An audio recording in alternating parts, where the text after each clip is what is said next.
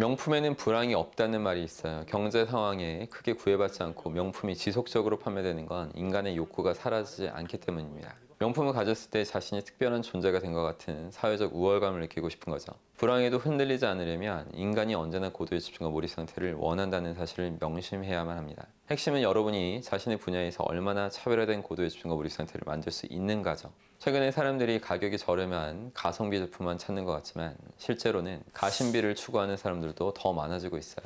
가심비는 가격 대비 심리적 만족도를 뜻하는 단어인데 특히 돈이 어느 정도 여유가 있는 사람들은 만족스러운 경험을 더 원합니다. 비슷비슷한 상품과 서비스로는 더 이상 그런 사람들의 관심을 끌 수가 없죠. 린치핀의 저자 세스 고드는 어느 날 프랑스를 여행하다가 한 무리의 소떼를 목격해요. 경치가 너무나 아름다워서 감탄사만 연발하죠. 하지만 10분도 채 지나지 않아서 소들한테 흥미를 잃어버립니다. 다들 비슷비슷해 보였고 소들은 그저 본능에 따라서 살고 있는 것 뿐이니까요. 그러다 세스고디는 이곳에 특별한 보라피소가 있으면 얼마나 놀라울까 이런 생각을 해봤어요. 만약 보라피소를 만난다면 여행에서 돌아와서 지인들한테 마음껏 자랑할 수 있을 것 같은 생각을 했죠. 사람들은 보통 남들과 비슷한 수준의 상품과 서비스를 내놓습니다. 그러면서 고객들한테 간택되기만을 바라겠지만 소떼를 보면서 흥분했던 마음이 금세 사그라든 것처럼 고만고만한 수준으로는 사람들의 이목과 몰입을 계속 끌어내는 것이 불가능해집니다. 그래서 생각할 수 있는 한 가지 방법이 바로 고급화 전략이에요. 사람들한테 특별한 경험을 선물하는 거죠. 얼마 전에 루이 로망이라는 포도 한 송이가 경매에서 1,400만 원에 낙찰됐어요.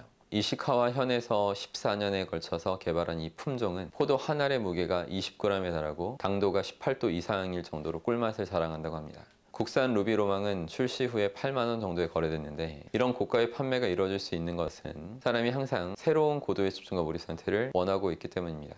언제나 특별한 맛과 경험을 원하고 있죠. 롯데월드 타워 81층에는 미슐랭 one star 한식당인 비체나가 있어요. 1인당 20몇만 원 정도 지불해야 되는데 이미 3개월치 예약이 거의 전부 차 있습니다. 저도 몇 번 가봤는데 음식 맛도 훌륭하고 특별한 접객 서비스까지 결합돼서 대체 불가능한 만족스러운 경험을 제공하고 있긴 해요. 소중한 사람들과 함께 가기엔 아주 적합한 곳이죠. 사실 가격 문제는 문제가 아닙니다. 높은 가격을 책정했다고 하더라도 그 이상의 경험을 선사할 수 있다면 사람들은 흔쾌히 이용하게 되어 있어요. 물론 누구나 고급 레스토랑을 운영할 수도 없는 것이고 고급 서비스만 제공할 수는 없겠죠.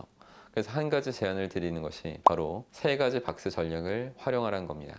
핑크 펭귄의 저자 빌 비숍은 어느 날 보체라는 공을 구매하려고 매장을 방문했어요. 거기에 세 종류의 상품이 있었죠. 30달러짜리 아동용 보체공이 있고 60달러짜리 성인용 패키지, 120달러짜리 토너먼트 세트가 있었습니다. 빌 비숍은 중간 가격인 60달러짜리를 구매했죠. 이렇게 여러 레벨의 상품이 구비되어 있으면 고객은 선택권을 부여받았다는 느낌을 받아요. 일반적으로 잠재 고객한테 세 가지 레벨의 상품을 제공하면 중간 것을 선호하는데 그래도 고급 서비스를 원하는 사람은 언제나 존재합니다. 상품을 다각화하는 전략을 교육업계에 적용한다고 해보면 교육 분야에서 가장 저렴한 형태의 상품은 책이나 교재가 되겠죠. 서점에서 바로 구매가 가능하죠. 그 다음은 단기 특강이 되겠네요. 저자와 강사를 짧은 시간이라도 직접 만나서 교육을 들을 수 있겠죠. 그보다 양질의 서비스는 정규 수업이 될 것입니다. 이렇게 가격에 차등을 두면 사람들은 자신이 원하는 형태의 상품과 서비스를 구매하게 되어 있어요. 만약 관성적으로 단일 서비스만 제공하고 있다면 고객에게 어떠한 선택권도 제공하지 않고 있는 겁니다. 고급 서비스를 원하는 고객들을 놓치고 있다는 말이죠. 추가적으로 설명을 드리면 롯데월드 타워 지하 1층에 고든 램지 버거가 있어요. 세계적인 스타 셰프인 고든 램지의 핵심 인력이 총괄 셰프로 있다고 해서 크게 이슈몰이를 했죠.